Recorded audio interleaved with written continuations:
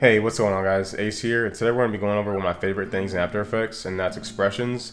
Uh, expressions are scripts that you can place onto your keyframes to make them come to life a little bit more. As you can see here, all I did was scale my logo and add this inertia bounce expression, and it makes the um, animation come to life a little bit more. So um, I'm going to show you guys how to do this example, and I'm also going to show you guys this one here, which is inertia bounce and um, bounce back. So these are pretty simple things that you can be really, really creative with. So I'm gonna go over in detail how to adjust your settings and how to apply these correctly and you guys can take off and be creative. Okay, so let's get started off with this more simple example, which is just scaling my logo. So I'm going to go ahead and select the layer, press S, and then I'm gonna move this keyframe down about here and then scale it down. I'm gonna go all the way to zero. Okay, so now we have this, which is extremely boring. So I'm actually gonna scoot this keyframe over just a little bit. So all you do from here is you alt click the stopwatch and then it opens up this expression window. So I'm gonna drag this down so you can see when I add the expression in. Um, so all I'm gonna do is go over to my um, inertia bounce expression. I'm gonna put the link down below so you guys can get this expression as well. And then copy it and paste and then click off and your expression is now applied. Um, so that looks okay. If you want to adjust how the um, the bounce happens, what you do is you let me stop this playing. What you do is you go down to um, these values right here, your amplitude, frequency, and decay. Your decay will affect how long the bounce happens. So a smaller number, I'm gonna change it to four so you can see what happens. So decay will make the bounce happen longer if you turn the number down. And then amplitude is the um, how strong the bounce is. So I'm gonna turn that to like 35.35 so you can see the difference. So that's that's crazy. you don't really want to do that. But yeah, all you do is adjust these three numbers and turn it back down to 0.05. And then frequency is just the number of bounces. So let's turn this up to like 10. Yeah. Um, but yeah, around default, I usually keep stuff pretty close to where it was at originally in the expressions, so you don't have to do much with these to for it to look nice. Um, that's pretty much it for the inertia bounce. I'm gonna show you how to imply the inertia bounce with a um, bounce back expression, which is a little bit different, but it's similar. So let's go ahead and hop into this new comp. So for this example, I'm going to use a shape layer. So I'm going to right click in this space and go to layer new shape layer. And then I'm going to hit the drop down arrow and add an ellipse and a fill to that, oops, a fill to that ellipse. And then make it white because I like white. And then I'm going to scale it up to 200. Okay.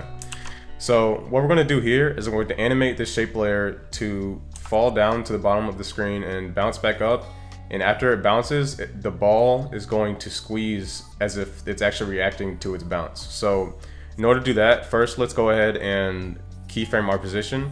So I'm gonna do a keyframe there, go down to here, and then keyframe down to the bottom. I'm just gonna do a rough estimate because I'm just showing you guys how the method is done.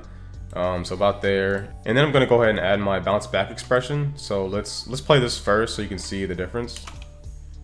So it falls and not very interesting at all. So I'm actually gonna make this a little bit faster, so make that closer together. And then um, I'm gonna go to my resource here and copy this bounce back expression. So copy, alt click this stopwatch, and then paste.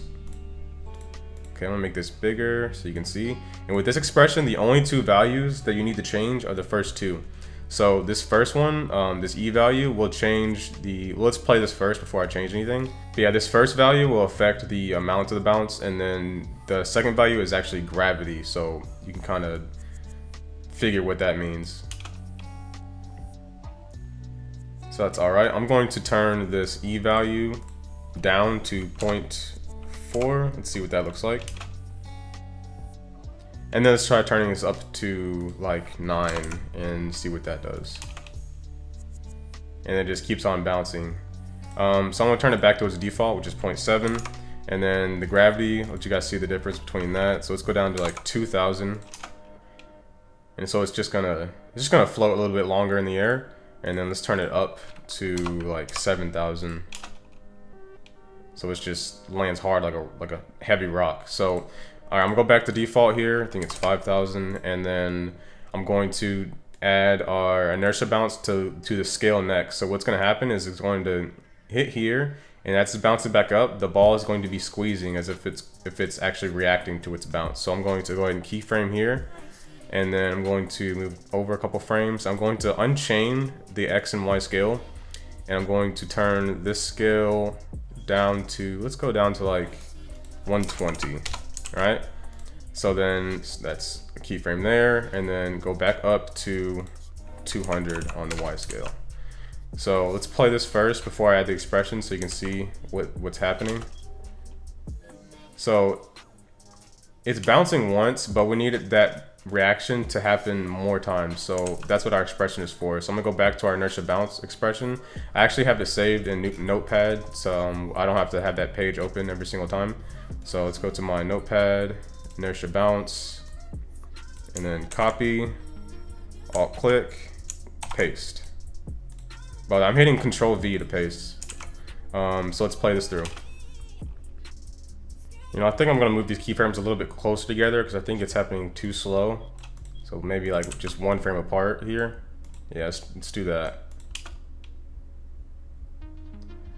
Alright, so I'm to increase, increase the bounce a little bit. But yeah, you guys are getting the idea. Um, you basically just play with the numbers that I showed you and you can be really, really creative with expressions you can apply you can apply these to absolutely any value that has a stopwatch on it. So like it could be rotation, scale, positioning. So like when you're doing text animations, if you want that text to bounce or continually have motion in it, you can add expressions like these.